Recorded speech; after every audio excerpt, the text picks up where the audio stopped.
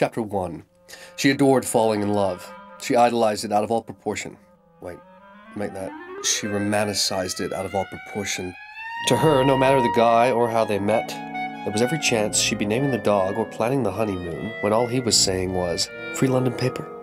Oh no, come on, that's disastrous. Alright, let me start this over. Chapter 1. She romanticized romance itself. No, wait, that's too plunky, it's too stilted. Chapter 1. She thrived on the thunderbolts, the butterflies. Oh, too verbose, too corny for a girl of her taste. Let me try and make this more profound, yeah. Chapter 1. She adored falling in love. She loved the chance meetings, the insane rewriting of texts and the counting of e-kisses. She loved the head spinning, stomach churning cornucopia of emotion. Oh no, wait, it's gonna be too preachy. I mean, face it, I want to sell some books here. Chapter 1. She was as tough and romantic as the men she loved. Behind her dainty exterior was the feline prowess of a jungle cat. Oh, I love this. Falling in love was her thing, and it always would be.